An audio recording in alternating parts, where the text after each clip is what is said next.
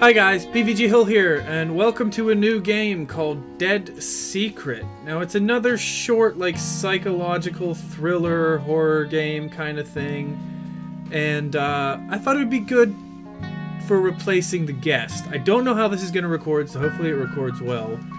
Let's start a new game here. And this game is meant for VR, but I don't have a VR headset, so... So yeah hopefully it won't totally suck. Harris Bullard was found dead in his study five days ago. Nobody believes me, but I think he was murdered. This house in the middle of nowhere holds the secret.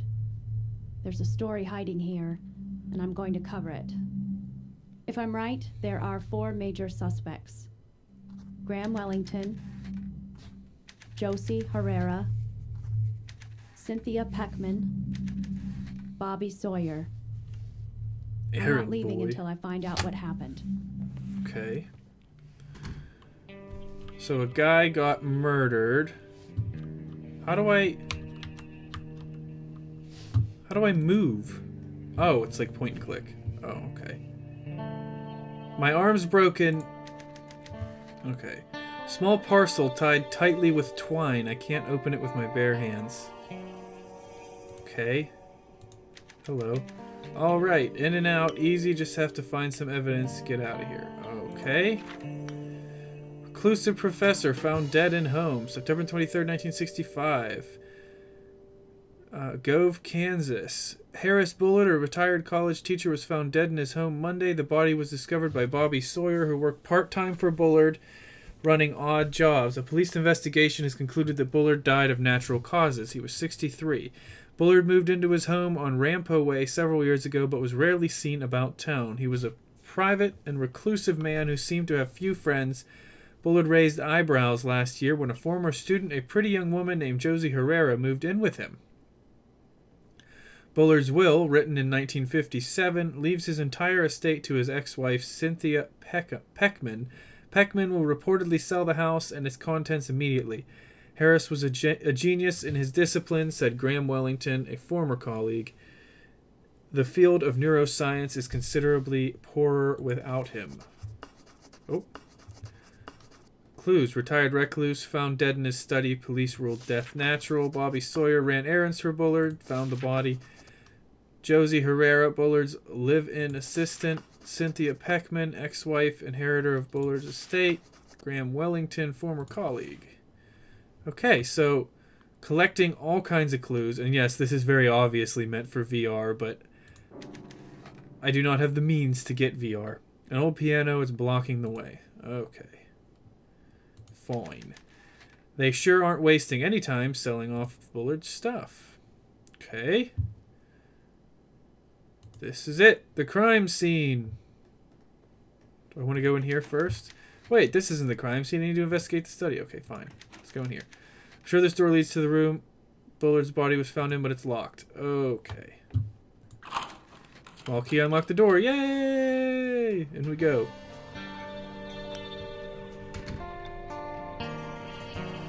That thing opened.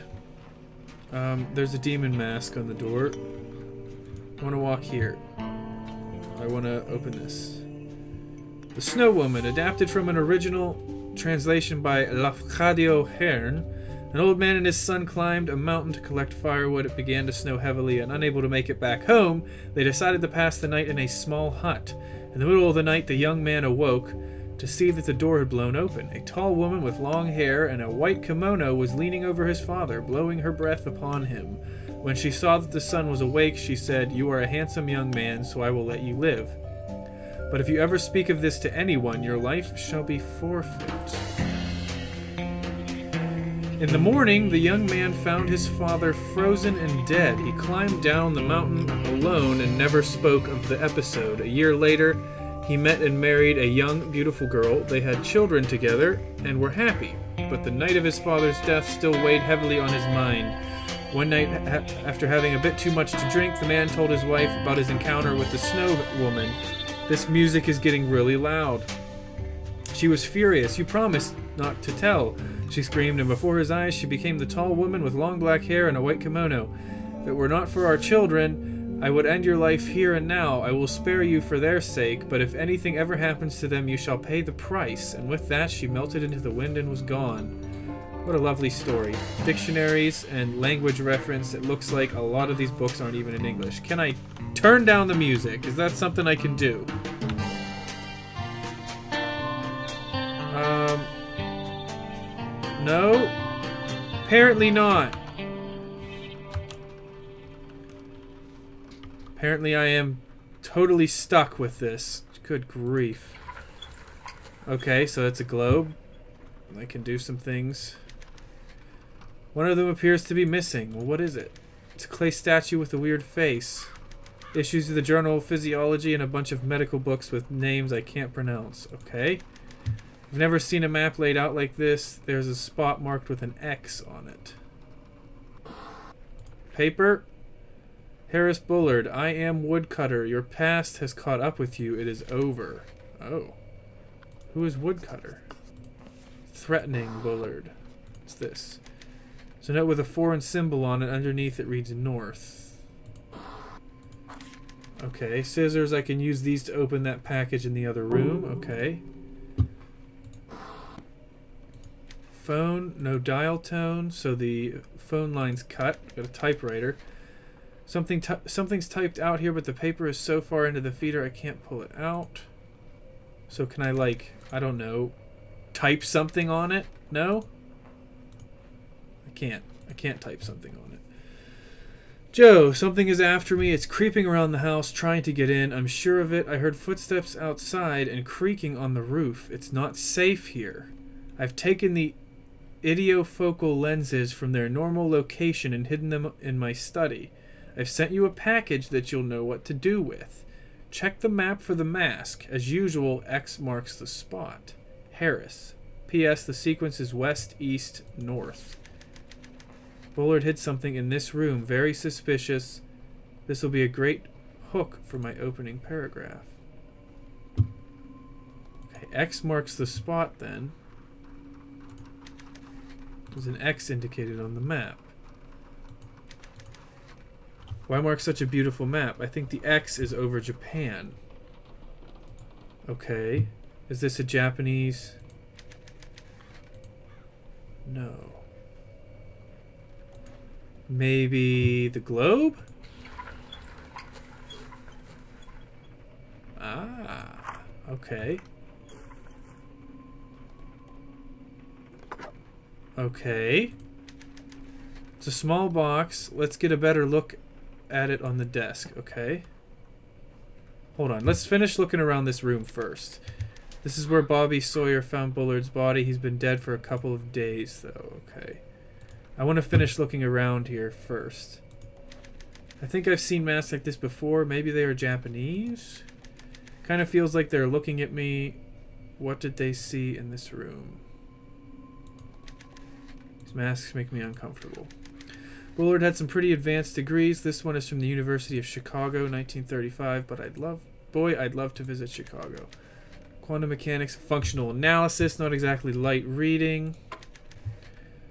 Doesn't turn on. Guess it's broken. One of Bullard's diplomas. What is this? Oh, hello. What's this? It looks like a tiny camera lens. Oh, circular lens. Okay. I get like a, a slight vibe of...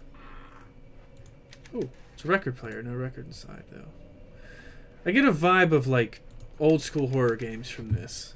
It's a picture of a woman. She's wearing a white kimono and standing in the snow.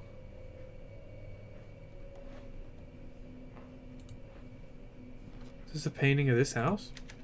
Something about this painting makes me uncomfortable. It's very bleak. Is there anything outside? Really? Really? You're gonna use the cheap jump scares on me like that? Oh, oh, oh, oh. There's definitely something under this cushion. Hello. It's a page from a manuscript. The man who could see with his skin. In 1926, I met a man who could see with his skin. His eyes were sealed with wax and bandaged, yet he remained aware of the room around him. We held up signs which he read and fingers which he counted, even when we stood behind him. After the performance, I gave him $200 for the secret. He explained that he could see as long as some part of his skin remained exposed to the air. He described it as a shift in the wind or a slight breeze on his face, the subtle motion of the hair on his arm. After years of focus and practice, he had developed the ability to form a mental image of his surroundings based only on these slight sensations. This man had achieved a form of ideofocus. Granted, he only had access to a very narrow range of sensory information, but the result was powerful. I immediately resolved to discover the secret of his ability. Now, almost four decades later, I am very close. There's a newspaper clipping here. It reads Eyeless Joe found dead in hotel. Weird. Quite. Should I go out and open the, um... I think I should. I think I should go out and open the thing. What's this? Oh, investigate.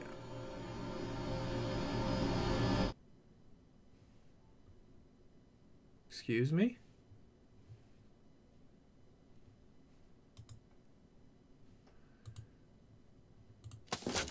Okay, what's this? It's an old book. It says Kwaidan on the cover. Whatever that means, the author is Lafcadio Hearn. Okay, old book. Alright, let's go back in the study again then.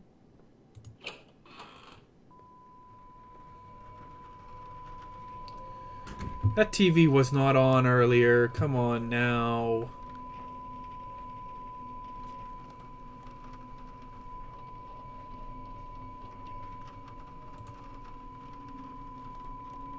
I'm gonna look at this thing first here. What is this? One of the buttons is missing.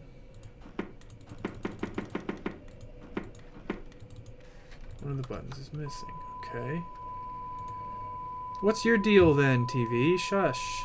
This was not working before. That's weird. I could have sworn the TV was off before. It was off before. You are absolutely correct. Another... I found another lens. I found two of them now. Okay.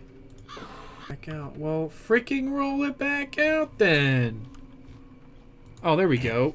I didn't realize there was something I could click on. Jeez.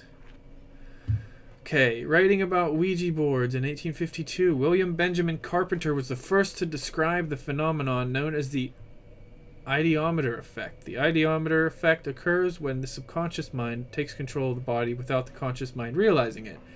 Ideomotor action is distinct from other forms of involuntary action because responses are driven by existing knowledge and perception. The Ouija board, Carpenter suggested, as a clear manifestation.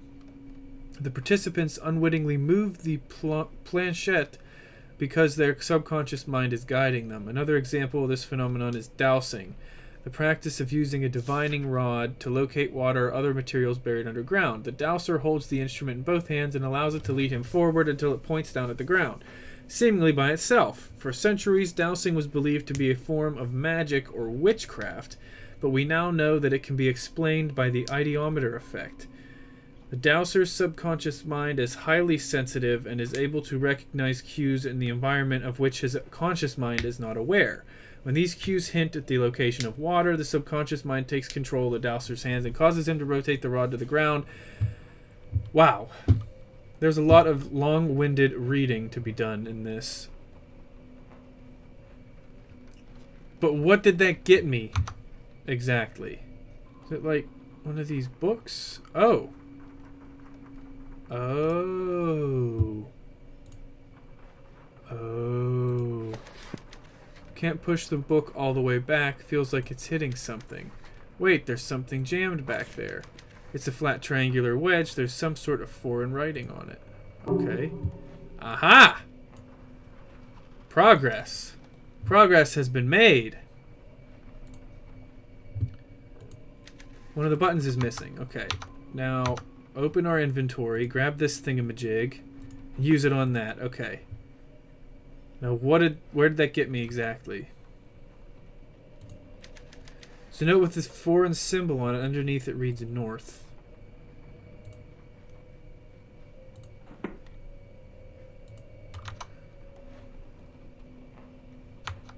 Okay, hold on. Uh, let's go back to that note here. Research documents. Was it this one? Taking the ideofocal lenses from their normal location, hidden them in my study. I've sent you a package that you'll know. Ah, west, east, north. West, east, north. Okay. Um, so I'm assuming then this is going to be whatever. So if that's north here, we're going to want west, east, north. Oh, hello. That is one creepy flippin' mask. I see the lenses fit into the mask's eye sockets. It's like a weird pair of goggles. Oh, God. That is freaking creepy as hell. Oh, hello. Oh, hi. Sir? Who was that?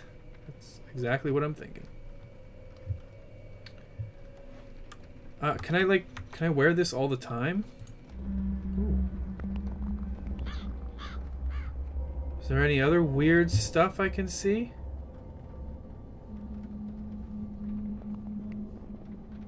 Oh.